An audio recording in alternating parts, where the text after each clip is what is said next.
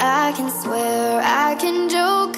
I say what's on my mind. If I drink, if I smoke, I keep up with the guys.